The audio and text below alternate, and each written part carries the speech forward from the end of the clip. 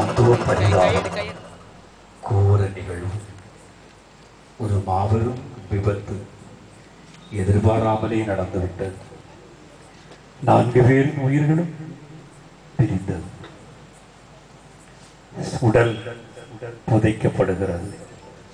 ஆனால் ஆண்டவரால் அருளப்பட்ட ஜீவன் பரதீசுக்கு செல்லுகிறது.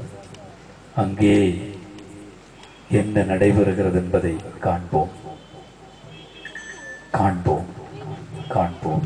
காண்போம். இது எந்த இடம் நான் எங்க இருக்கேன் எனக்கு இந்த இடம் தெரியும் இது? இதான் ஹெவன் அங்கதான் நானும் போவேன். நாம தான் போவோம். ஆமா. மைக் நம்ம தான் போவோமா? நம்ம தான் போவோம். நான் தான் போவேன். இது ஏதோ ஸ்டேஜ் செட்டப் மாதிரி இருக்கு? இல்ல இல்ல. நான் தான் ஹெவனுக்கு போவேன். ஏன்னா நான் தான் நான் தான் ஒரு தகுதி உள்ள சரி கடவுள்னு ஒருத்தர் கிடையாதுடா. இல்ல இல்ல அவர் உண்டு. நான் தான் தகுதி உள்ளவன். சரி போ.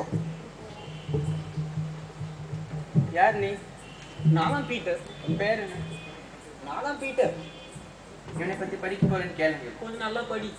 பிறந்தது வளர்ந்தது எல்லாம் கிறிஸ்தவ குடும்பத்தில். சபைக்கு தவறாது வரப்போறான் ஒரு வாரம் கூட மிஸ் பண்ணதில்ல.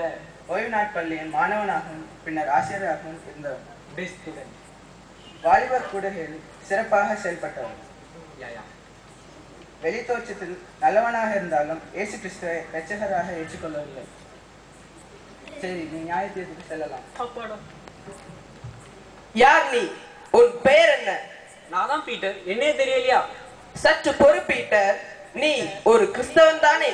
ஆமா அதுல என்ன சந்தேகம்? நீ வாரந்தோறும் ஆலயத்திற்கு செல்வாய் அல்லவா? ஆமா ஒரு வாரம் கூட மிஸ் பண்ணதில்ல. நீ ஆலயத்திற்கு என்னென்ன பொருட்களை கொண்டு செல்வாய்? என்ன கொண்டு போவாங்க? ஆ பைபிள தான். வேறு? வேற என்னவா இருக்கும்? ஆ பாட்டு புக்கு. நீ உன் செல்போனையும் ஆலயத்திற்கு கொண்டு வருவதை நான் பார்த்திருக்கிறேனே. இவர் இது எப்படி இவருக்கு தெரியுது? அதெல்லாம் ஜம்ப் பண்ணி வந்துடுதான் இதெல்லாமா கண்டிடுவாங்க நீ என்னுடைய பிரசங்கம் நடக்கும் வேளையில் மற்றவர்களுக்கு எஸ்எம்எஸ் அனுப்பி கொண்டும் கேம்ஸ் விளையாடி கொண்டும் இருக்கிறாயே. அதெல்லாம் ஒண்ணும் இல்ல. அவர் பிரசங்கம் பண்ணிட்டு இருக்கிறத நான் டைப் அடிச்சு வச்சுட்டு இருப்பேன் அவர் நல்ல கிளியரா பேசுறதெல்லாம் ரெக்கார்ட் பண்ணிட்டு இருப்பேன். இல்லை. நீ என் வசனத்தை அதிலே எழுதவில்லை. மற்றவர்களுக்கான எஸ்எம்எஸ் அதிலே டைப் செய்கிறாய். இல்ல இல்ல இல்ல இல்ல இல்ல. அவர் பேசுறத நல்ல கிளியரா ரெக்கார்ட் பண்ணிட்டு இருப்பேன். உனக்கு என்னுடைய வசனம் எப்பொழுதும் கொடுக்கப்பட்டிருந்தது. ஆனால் நீ அதை பிரயோஜனப்படுத்தவில்லை. எனவே உனக்கு இந்த பரலோகத்திலே இடமில்லை. உன்னை நரகத்திற்கு தள்ளுகிறேன். அது எப்படி நடக்கும்? நான் தான் பெஸ்ட் ஸ்டூடெண்டா இருந்திருக்கேன் சண்டே கிளாஸ் டீச்சரா இருந்திருக்கேன். ஏன் வாலிபர் கூட இல்ல சிறந்த மாணவங்கிற பிரைஸ் வர வாங்கியிருக்கேன். இந்த விபிஎஸ் டைரக்டரா வேற இருந்திருக்கேன். இதெல்லாம் நடக்காது செல்லாதுல்ல. இல்லை இல்லை. பூமியில் உனக்கு கொடுக்கப்பட்ட கிருபையின் நாட்களை நீ பிரயோஜனப்படுத்தாததால் உனக்கு இந்த தண்டனை. இல்ல வேண்டாம். நான் அங்க போல நான் நரகத்துக்கு போல இல்ல தான் போவேன்? போவேன். பீட்டரின் பக்தி வீசம் கலைந்தது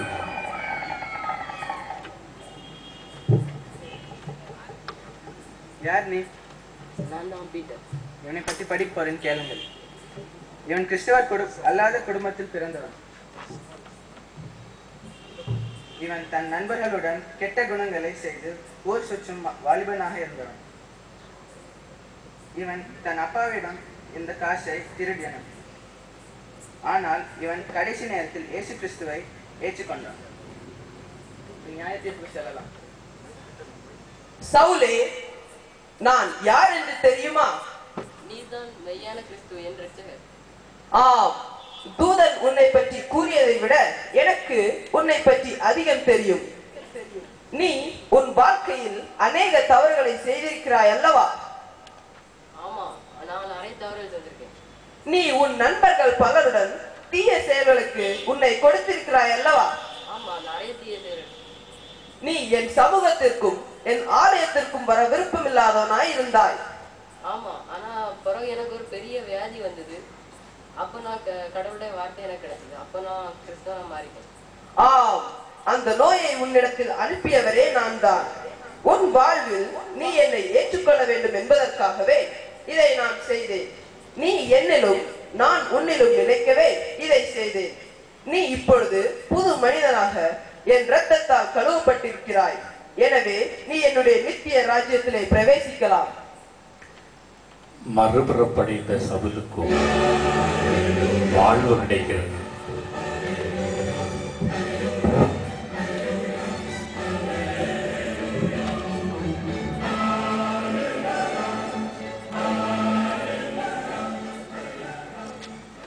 ஏய் கிருஷ்ணமூர்த்தி உனக்கு தெரியுமாடா?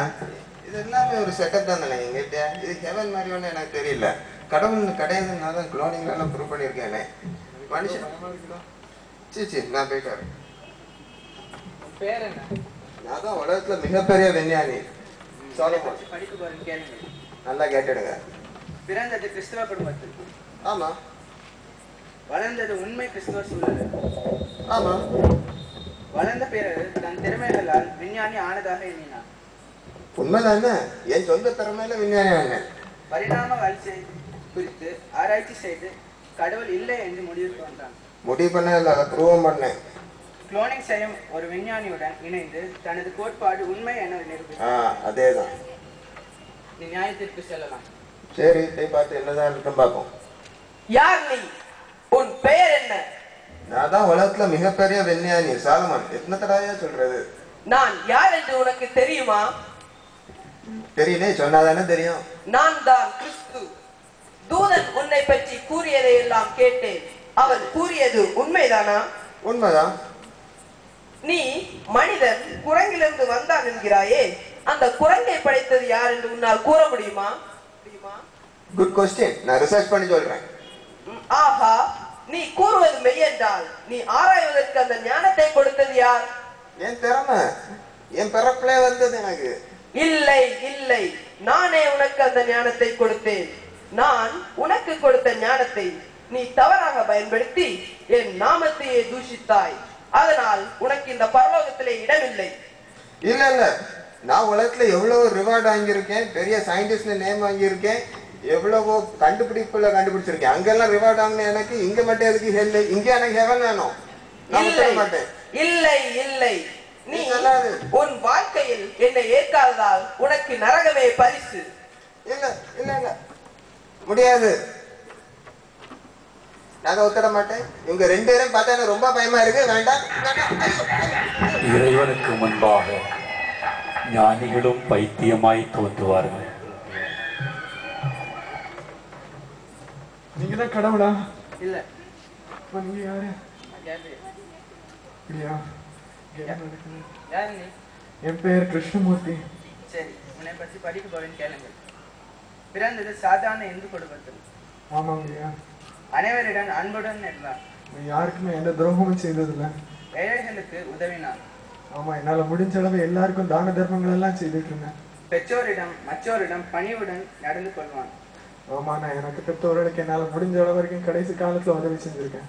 நிறைய கிறிஸ்துவ நண்பர்கள் இருந்தும் கிறிஸ்துவை பற்றி அறிய வாய்ப்பு கிடைக்கவில்லை. கிறிஸ்துவ யாரு? நீ நியாயத்திற்கு செல்லலாம். நியாய தீர்ப்பா? கிருஷ்ணமூர்த்தியே நான் யார் என்று உனக்கு தெரியுமா? யாரு நீங்க? யாரு? எங்க இருந்து இந்த சத்தம் கேக்குது? நான் தான் மெய்யான தேவன் இயேசு கிறிஸ்து. ஏசு கிறிஸ்துவா? என்னை பற்றி உனக்கு ஏதாவது தெரியுமா? இல்லையே உங்களை யாருன்னு எனக்கு தெரியாது. சரி தூதன் உன்னை பற்றி கூறியதை நான் கேட்டேன். அவன் கூறியது உண்மையா? ஆமா நான் என்னால முடிஞ்ச வரைக்கும் இந்த உலகத்துல உள்ள எல்லா நல்ல காரியங்களும் செஞ்சேன் எனக்கு வேதாசுல சொன்னபடி நான் எல்லாத்தையும் கடைபிடிச்சிருக்கேன். நான் பாவம் பண்ணதாட்டு எனக்கு ஞாபகமே இல்லை. எல்லாவற்றையும் நான் அறிவேன். நீ என் பாதையில் நடந்துள்ளாய். ஆனாலும் என்னை ஏற்றுக்கொள்ளவில்லை. என்னை பற்றி கூறியிருந்தால் நீ நிச்சயம் ஏற்றுக்கொண்டிருப்பாய். உனக்கு பல கிறிஸ்தவ நண்பர்கள் இருந்தும் அவர்கள் உனக்கு எதுவும் சொல்லவில்லையா? இல்லையா? எனக்கு சாலமோன்ல எனக்கு பெஸ்ட் ஃப்ரெண்ட் ஆனா கடவுள்னு ஒருத்தர் உண்டுன்னு கூட நான் சொல்றது இல்ல சரி நானே மெய்யான தேவன். உலகத்தில் உள்ள எல்லோருடைய பாவங்களையும் சுமந்து தீர்த்த தேவ ஆட்டுக்குட்டி நானே. நீ என்னை ஏற்றுக்கொண்டால் நித்திய வாழ்வை பெறலாம். என்னை ஏற்றுக்கொள்கிறாயா? ஆமாங்க ஐயா நான் ஏற்றுக்கொள்றேன் இது வரைக்கும் எனக்கு தெரிஞ்ச கடவுளை நான் கல்லு மண்ணுமா தான் இருந்துச்சு எனக்கு கூட பேசுறதே ஒருத்தர் உண்டுன்னு நான் இப்பதான் அறிஞ்சுக்கிட்டேன். நான் உங்களை ஏற்றுக்கொள்றேன். என்னுடைய சொந்த ரட்சராக ஏற்றுக்கொள்றேன். சரி நீ என்னுடைய நித்திய ராஜ்யத்திலே என்னுடன் பிரவேசிக்கலாம். எவ்வளவு பெரிய சந்தோஷம். உலகத்தார் கண்களுக்கு பரிசுத்தமாக தன்னை காட்டின பீட்டருக்கு கிடைத்ததோ பரிதாபம். நரகம் பாவங்களை உணர்ந்து அறிக்கை செய்து மறுபுறப்படைந்த சவுலுக்கு கிடைத்ததோ? பருவம் மிகப்பெரிய ஞானி என்று. தன்னை விட்டால் யாருமில்லை என்று. தற்பெருமை கொண்டிருந்த ஒரு சாலமனுக்கு கிடைத்ததோ?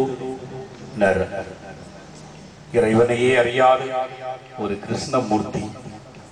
இறைவனே என் ரட்சகர் என்னை மீட்பதற்கு தோன்றினவர் என்று அறிக்கையிட்ட கிருஷ்ணமூர்த்திக்கு கிடைத்ததோ மொச்ச வாழ்வு. இந்த நான்கு பேரு நாம் யார்? யார்? யார்? யார்? சிந்திப்போம்.